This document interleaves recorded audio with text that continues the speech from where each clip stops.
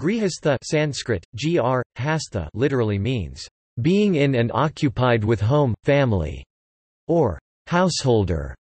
It refers to the second phase of an individual's life in a four age-based stages of the Hindu ashram system. It follows brahmacharya bachelor student life stage, and embodies a married life, with the duties of maintaining a home, raising a family, educating one's children, and leading a family-centered and a dharmic social life. This stage of ashrama is conceptually followed by vanaprastha forest dweller, retired and sannyasa renunciation.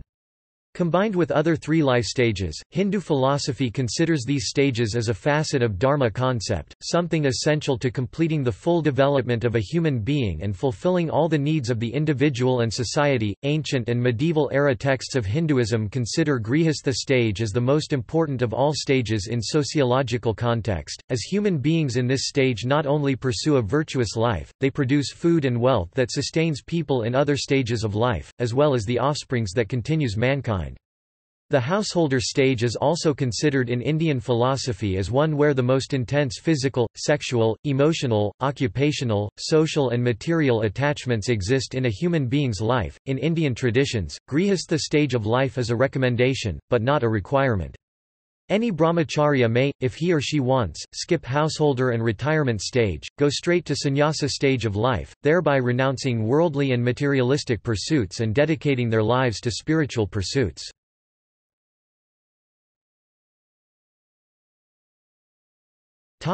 Etymology. The Sanskrit word grihastha is a composite grih asta of two root words grih gra and asta. grih means home, family, house, while asth means devoted to, occupied with, being in. Grihastha means that which being in and occupied with home, family, or simply Householder.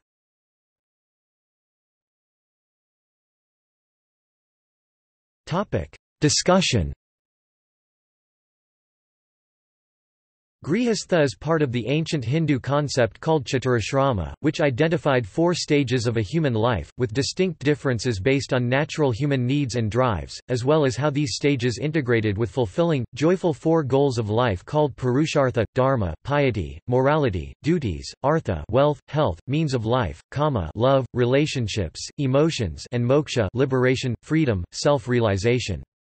Grihastha is considered to be the most intense of all four stages, where a man or woman pursues all four goals of life, with greater emphasis on first three, dharma, artha and kama.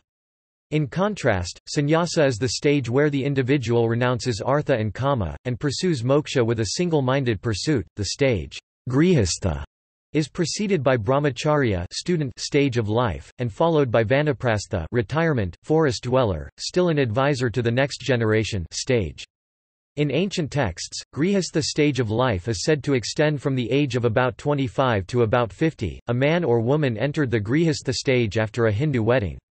They would build a home, raise a family, earn wealth, enjoy worldly life and participate in the society through virtues such as charity.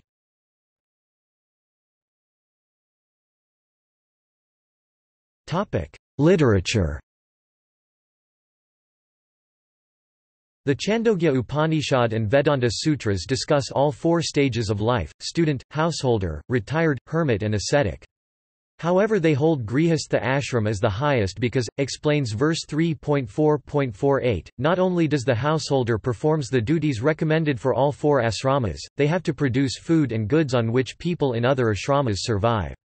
The shared duties of four ashramas are, tenderness for all living creatures ahimsa, self-restraints, and others. Some chapters of the Upanishads, for example hymn 4.4.22 of Brihadaranyaka Upanishad, specify only three stages of human life, brahmacharya, grihastha and vanaprastha. They make no mention of gender, class or caste restrictions on these stages of life. All three stages are recommended as path to Brahman inner self, soul. In contrast, later texts specify four stages of human life. Dharmasutras and Dharmasmritisgrihastha ashram, declares Gautama Dharmasutra in verses 3.2 and 3.3, is the foundation of all the ashrams, and essential to the existence and continuation of society because the other three ashrams do not produce offspring. Manusmriti, similarly states in sections v.87 through v.90, that it is the householders who feed all those in other three stages of life, and those who seek spiritual pursuits live on, attain fulfillment because of those who accept and prosper in Grihastha ashram. Manusmriti uses the concept of ashram broadly, and in verses 3.77 to 3.80, declares Grihastha stage as noble, excellent and that, "...just like all beings need air to survive, so do all beings take life from the Grihastha ashram because of the food they produce and knowledge they apply." In sections IV.1 through IV.6, Manusmriti states a brahmana, after being twice born and completing his studies with his teacher, should marry and live in his house. He must seek a means of living that causes no injury or least possible injury to all living beings, except in times of distress. For this householder stage, the text declares that the brahmana graduate from brahmacharya should accumulate property by ethically pursuing his caste's occupation. Manusmriti lists five appropriate sources of income or means for survival for the educated Brahmana RDA, RDA lawful gleaning and gathering, proper natural work, AMRTA, Amrta accepting gifts and charity, MRTA, Murta begging, Pramrta, Pramrta agriculture, tillage and Satyanarta, Satyanarta trade, commerce, money lending. The text disapproves of one means of survival for the householder, Shvavriti, Swawarti dog-like subsistence, servitude, slavery. Puranasth Vishnu Purana in Book 3 Chapter 9, states, When the scriptural studies appropriate to the student have been completed, and he has received blessings of his guru, let him enter into the order of the grihastha householder. Let him pursue and obtain, by ethical ways, home, wife, and wealth, discharge to the best of his ability the duties of his life's stage. He should satisfy the soul of his ancestors with funeral cakes, the gods with oblations, guests with hospitality, the sages with holy study, the progenitors of mankind with progeny, the spirits with reverence, and all the world with words of truth. Epics to Indian epics have extensive debates on Grihastha stage of life, offering a contrasting spectrum of views on its merits and nature.